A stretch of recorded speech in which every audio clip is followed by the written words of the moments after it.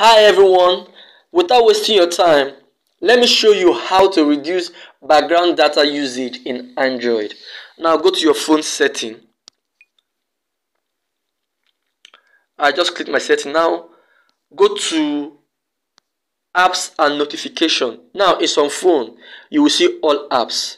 You won't see apps and notification, but in my phone there's apps and notification. Now I clicked apps and notification.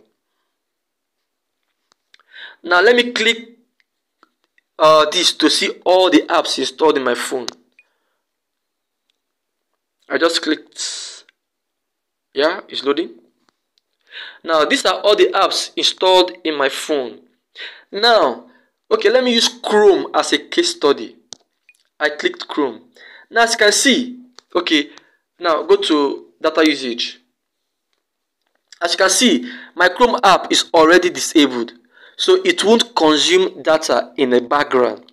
But if I decide to enable it just like this it will be consuming data in the background.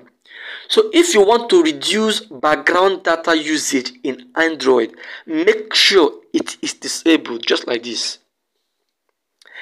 Now check all the apps installed in your phone and make sure background data is disabled now, go to all the apps in your phone.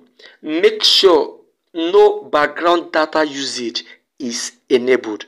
Now, do this for every apps in your phone and minimize the way your data is being consumed. Thank you very much. Please subscribe to my channel. God bless you. Obrigado.